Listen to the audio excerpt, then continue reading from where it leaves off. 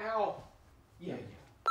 Hey guys, welcome to my channel. Today's video is going to be testing out the Vamp stamp. It's a stamp for winged eyeliner. It's gonna be an interesting video.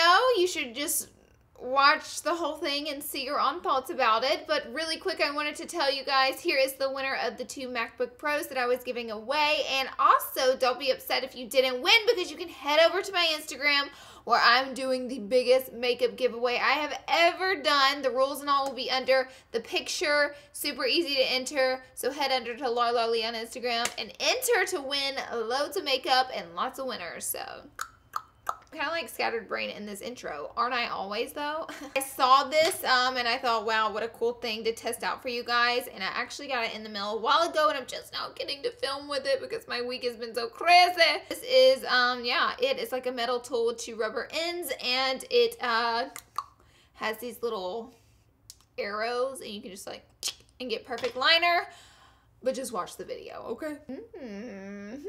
And subscribe to my channel before you leave. Subscribe today. Let's jump right in and get started. All right, guys, so now we're all close up and personal. We're gonna go ahead and get started and test out this little vamp stamp booger to give me the perfect wing liner. So it says the struggle for the perfect wing ends here. Conquered this complicated makeup technique with minimal effort. It says it allows for a smooth and perfect wing liner look that will immediately up your makeup creds. Shows in the picture that she went ahead and just drew regular liner and just on the little wing. Um, the wing is obviously the most difficult part, I think, in wing liner, not per se the liner across the lid. I didn't get like any specific instructions other than just knowing to stamp it. I don't think I did.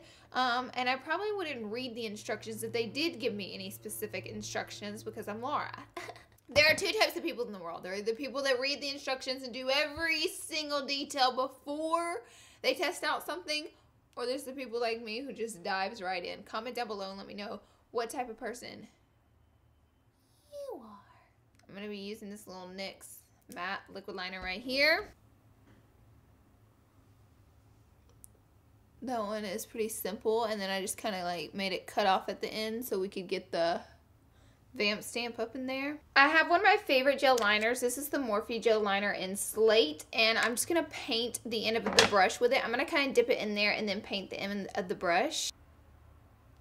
Just making sure ample amount of product is on here. I'm kind of nervous. I don't want it to mess up.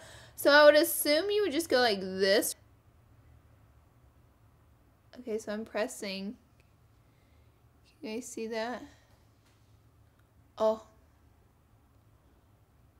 Oh no. Let me add way more product. Okay, now I assure you there's like globs of liner on this. And basically I'm just going to try again. I think that was my fault, honestly, that I just didn't have enough product. Here I go. I did press kind of hard. And you know what? It's not bad. Because what I would do now, which wouldn't be difficult, is just take the little liner brush.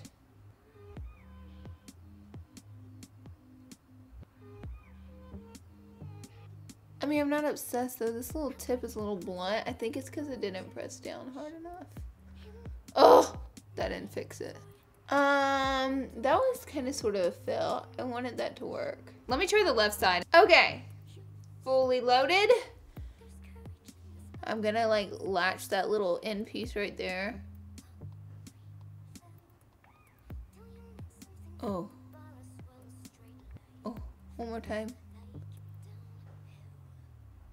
Oh, okay.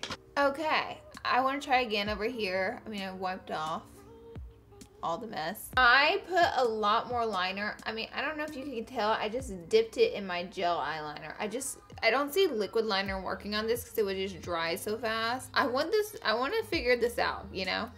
Oh, oh damn, I stamped it on the wrong end. Well, let me take this eye off now.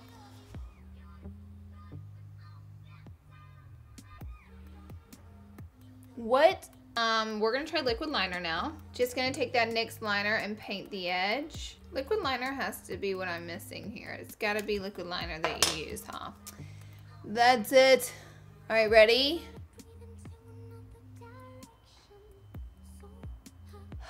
I feel like the liquid liner dried a little too quick.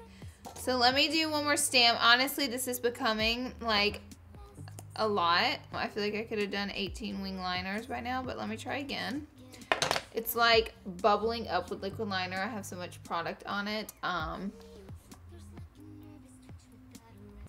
okay, that, so it's messy, but like that was our most successful run. So we're gonna do that to the right side. We're gonna wipe off this mess. Hope you guys know this is a learning experience together. We're like trying to figure this thing out together and I hope you're with me on this. Really fully loaded. I'm gonna do it quickly. Uh, uh, uh. Boom. Oh my god, that looks so bad. Thank god liquid liner is really easy to wipe off versus gel liner. Outer corners of my eyes are a little bit raw now, I have no makeup on this area now, and I'm gonna let it, you know, dry 100%, obviously. And then I'm gonna try the liquid one more time. I mean, I'm gonna go ahead and say, like, I'm not really recommending this. Like, hell, if you have a hard enough time with liquid liner, this is making my life hard with liquid liner, and I feel like I, I you know, have got it down pretty pat but I feel like this is making my life more difficult, so I don't feel like it would be easier at home. I'm just at this point trying to make it work. Okay, right eye ready, set, and boom, baby. This is what I would do if I was left with this little monstrosity on my eye. Oh, go ahead. Oh, that just looks so bad.